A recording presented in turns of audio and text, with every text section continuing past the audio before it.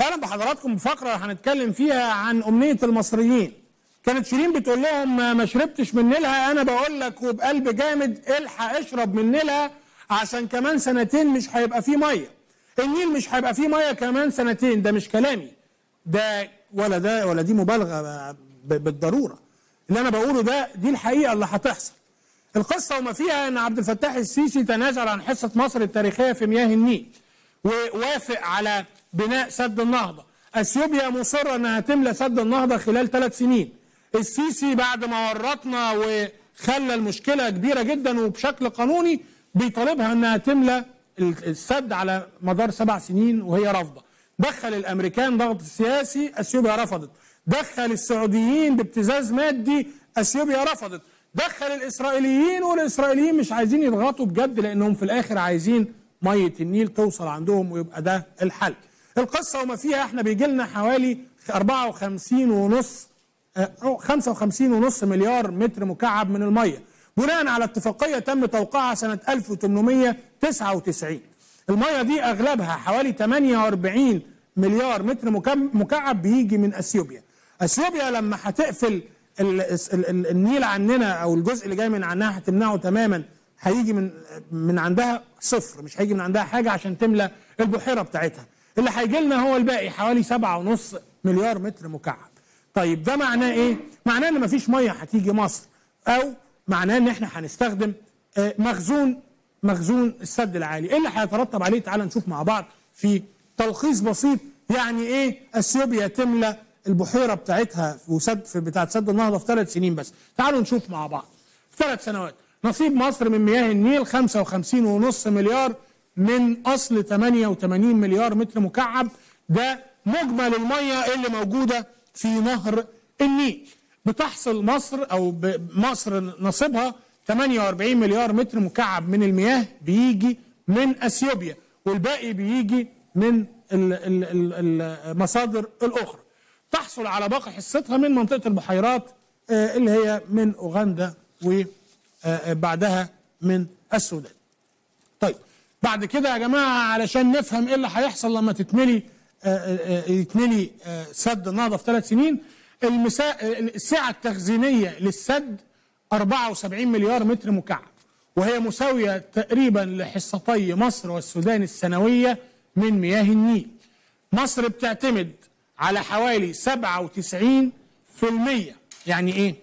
بتعتمد مصر على حوالي 97% من احتياجاتها المائيه من نهر النيل.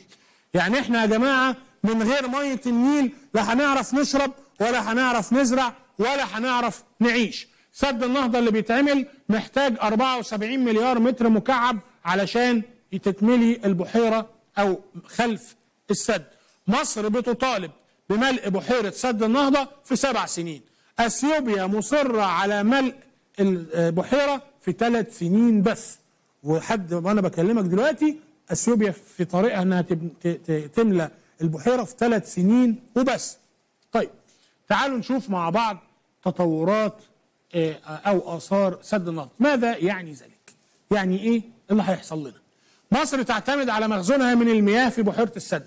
بحيرة السد أو بحيرة ناصر زي ما كانوا بيسموها اللي موجودة عندنا ومبنية من الخمسينات فيها 102 مليار متر مكعب.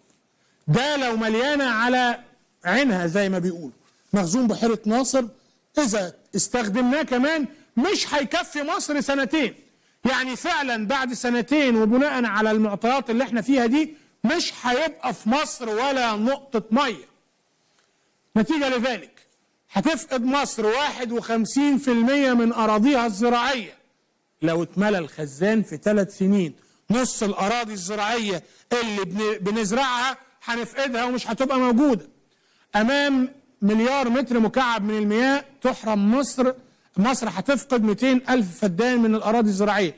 يعني كل مليار متر مكعب من الميه هيغيب عننا هيغيب قصاده 200 ألف متر 200 ألف فدان من الأراضي الزراعية. وإحنا هيتمنع عننا أكتر من 48 مليار متر مكعب من الميه المليار ب 200 ألف فدان. احسبها انت بقى. فقدان مليار متر مكعب واحد من المياه من شأنه أن يخلف مليون حالة بطالة جديدة. مليار واحد يعني بوار مليار متر مكعب من الميه لما ما يجيش معناه هيضيع مننا 200 ألف فدان معناه مليون عاطل هيقعدوا على الرصيف جدد. قبل بناء السد كان دعم الكهرباء أربعة وستة من عشرة مليار دولار.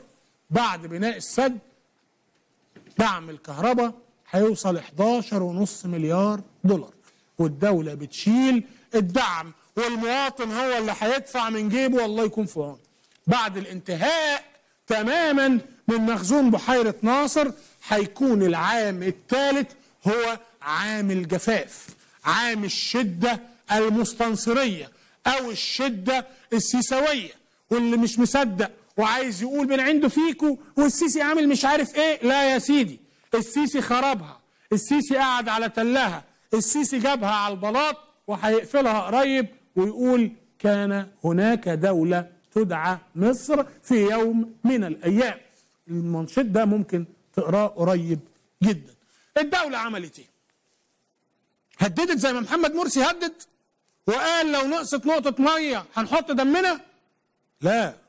الدولة راحت تتوسل للأثيوبيين وسطت أمريكا وسطت السعودية وسطت إسرائيل. وأثيوبيا راكبة دماغها وبتقول ثلاث سنين يعني ثلاث سنين. حتى مش عايزين يخلوهم سبعة لا ثلاث سنين وهيبنوا سدود تانية. طيب الدولة عملت إيه؟ ورونا يا جماعة الدولة عملت حاجة تانية ولا لا؟ الدولة شغلتنا مخبرين على بعض. الدولة بتقول لك ما تحلقش دقنك ما تردش مية ما تمسحش عربيتك.